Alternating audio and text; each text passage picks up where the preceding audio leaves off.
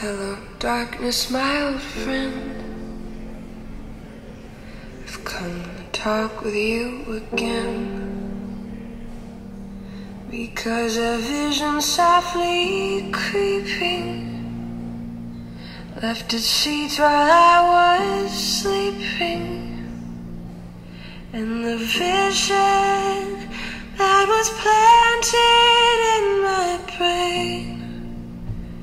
still remains within the sound of silence.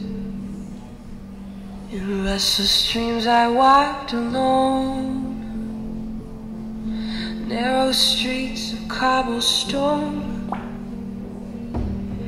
Neath the halo of a street lamp, to my collar, to the cold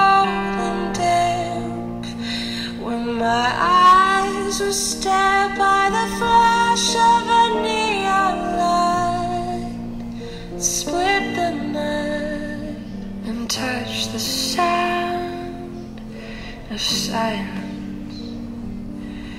And in the naked light I saw ten thousand people, maybe more. People talking without speaking, people hearing without listening, people writing songs that voices never shared. No one dare disturb the sound